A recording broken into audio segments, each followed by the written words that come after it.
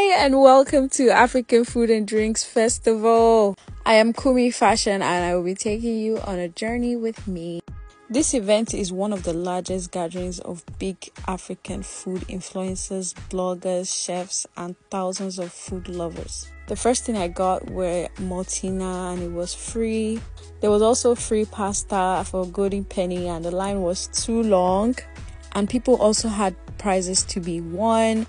African culture is just so beautiful. This is the Add Me stand and Add Me in. Add Me also shared some free samples of their cooked food.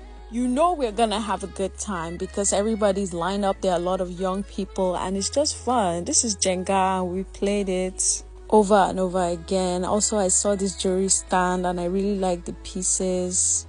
They also had cocktail rings, necklaces, bracelets, and everything. This is Chow Box whipping up that grill and meat. This event is actually celebrating the uniqueness and diversity of African food and culture. There were all kinds of food actually at this place. There was also shawarma. I requested for one shawarma. This is actually an annual event that actually happened at Muri Okunola Park. This is a food festival and it brings people together from all walks of life to celebrate the beautiful African foods that we have.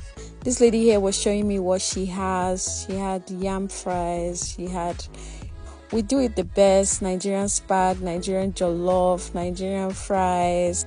The Nigerian version of foods is actually very nice, like Nigerian jollof, Nigerian spag, Nigerian asun is also good.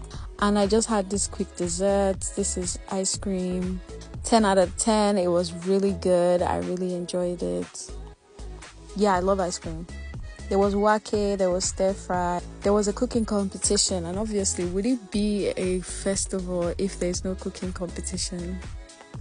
Also, there was a dance competition. It was really funny and very exciting, but obviously, when you're outside, you're expected to have all the fun. These girls were dancing their hearts out to win the prize. And this is Ayo. Everybody knows this. If you're Nigerian, you know, you know. I feel like somehow we are slowly losing our unique cultural perspective. This event contains various cultural displays and sensitization to the cosmopolitan audience with the feeling of connection to our roots. African culture is beautiful. The DJ actually stepped in and was playing a lot of jams. It was interesting. Thanks for watching my vlog, and I will definitely see you and catch you later. Bye. Mwah.